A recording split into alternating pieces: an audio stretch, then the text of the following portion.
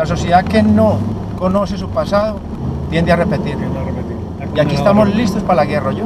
Los norteamericanos descubren un alijo de cocaína en las calles de Miami, y saben que venía por Cayo Hueso y saben que y ya descubren que viene de Cuba. El responsable era Raúl y Fidel sabía.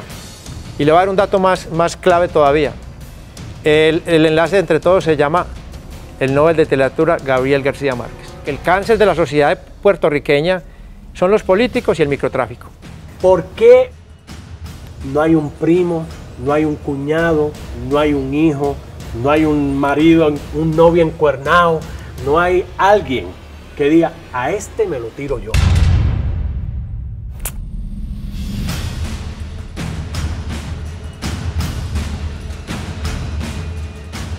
Mire, yo soy un asesino, eso hay que llamarlo por su nombre.